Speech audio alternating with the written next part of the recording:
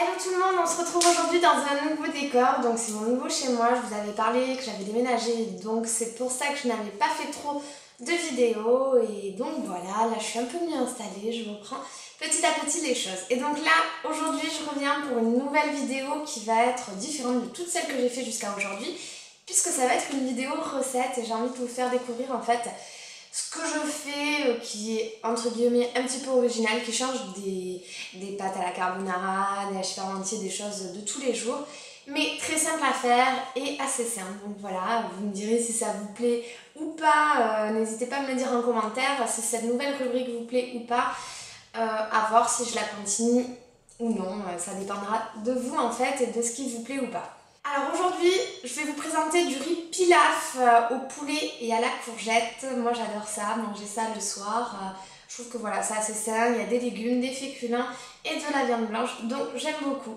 Pour réaliser cette recette, il vous faudra une grosse courgette. Si vous n'avez pas une grosse courgette, comme moi dans la vidéo, n'hésitez pas à l'utiliser, à prendre deux courgettes euh, à peu près. Également, trois filets de poulet si vous êtes 3-4, vaut mieux, ouais, trois filets de poulet. Euh, ensuite, il vous faudra aussi du riz, bien entendu. Je vous expliquerai. Alors moi, je pèse pas le riz. En fait, euh, je sais pas combien de grammes il vous faudra. Moi, c'est à base de verre. Et donc, j'utilise 3 verres pour 4 personnes à peu près. Il vous faudra également du cubord, du sel, du poivre, du curry, de la crème fraîche. Et je crois que j'ai rien oublié. Hein. Je regarde le test, je n'ai rien oublié. Donc voilà, je vous laisse découvrir la recette. Il n'y a rien de plus simple.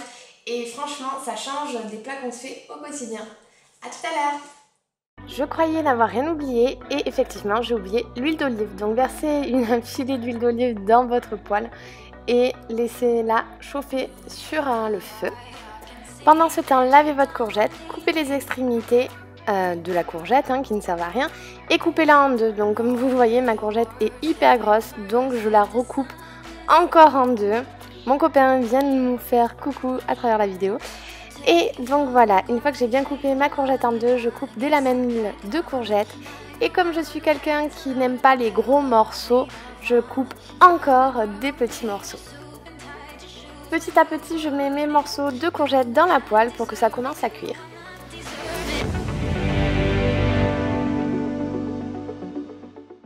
Je remue bien les courgettes et je vais venir euh, poivrer les courgettes, les saler et ajouter aussi du cubord.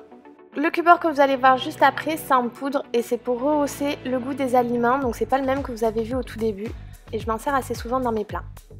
Donc je viens bien remuer pour que le sel et le poivre se mélangent bien.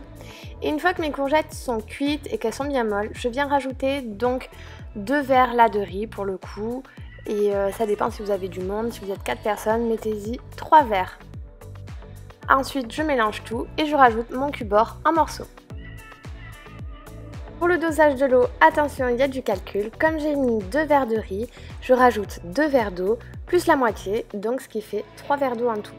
Donc c'est pareil, si on met 4 verres de riz, euh, on met 4 verres d'eau plus 2, plus 2 verres d'eau plus la moitié. Voilà, je remue bien le tout et je vais laisser sur le feu pendant un petit moment. Pendant ce temps, je vais m'occuper du poulet. Là, rien de plus simple, on coupe des petits morceaux de poulet.